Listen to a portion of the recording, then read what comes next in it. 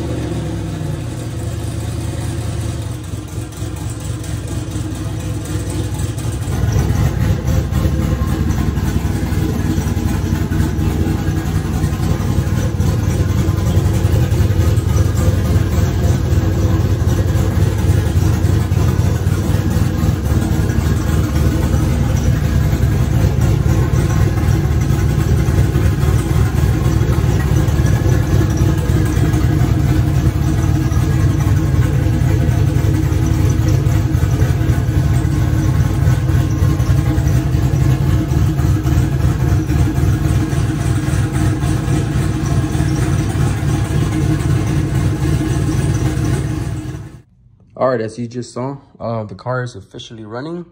Um, now it's time to enter phase two of the project setup or the build. And what I want to do is I want to get rid of these uh, rubber couplers now that I have it set up, kind of like routed where I want it to go. And I want to get these uh, TIG welded by somebody who's more skillful than, than I am, obviously. Um, so don't get all worked up and be like, that's stupid. You, you got too many rubber couplers, blah, blah, blah, blah, blah, blah, blah. I know, man. It's just temporary. I needed to get the cartoon, get it running, and, uh, you know, data log it and get this done when uh, the money's right. You know, just wait till I get my money right, okay? So, um, yeah. So now we've entered stage two. Um, the car's ready to run and and make a test hit and then uh, email that log, that data log back to my tuner because uh, I'm getting it remote tuned from a local guy who's really, really good. And then uh, I should be able to make a eighth mile pass first and then eventually get it down the quarter mile track and see how fast it is. But yeah, right now, uh, before I really get a hit at the track, I mean, like I said, I want to get these done. Um, I don't want to have an issue at the track with this crap is popping off and creates a bigger issue. Um, and also, not a big deal, nothing too crazy or nothing, but this purple and blue uh, fuel pressure regulator is just not sitting right in this engine bay. You know, it just sticks out. And I want to get a black one. Now, this is what I had at the time uh, because that's the only one that was available when I had the LSA. And uh, But now it just kind of sits up here um, and just sticks out. It's like I said, it's not no big deal. Just want to redo that. And I'm also going to do uh, some sort of like brake upgrades on, on this. Get a new master, new booster, maybe like a hydro boost or something of some sort. And then uh, it'll be money, you know. Um, here's a little bit more of the engine bay. I'm sure if you follow the, the build, you, you've been seeing how I've been doing it little by little, but there it is. Um, I'm mounting my fuel regulator in case anybody's curious.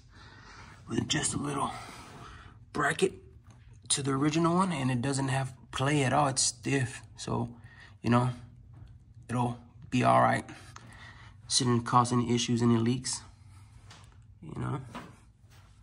But here we are. Car's officially running.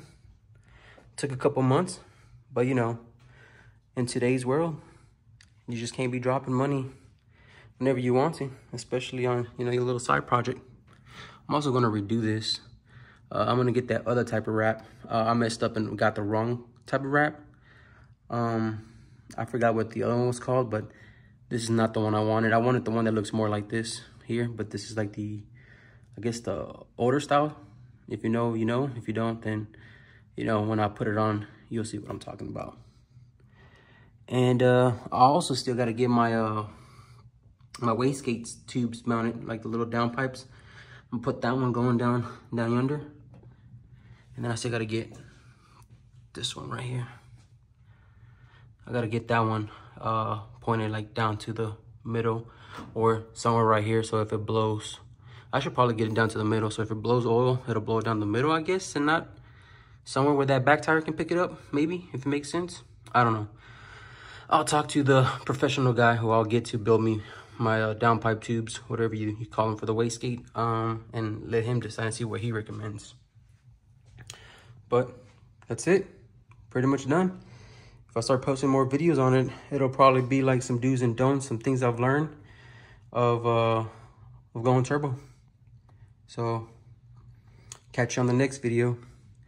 Oh, and when in doubt, whip it out. Peace.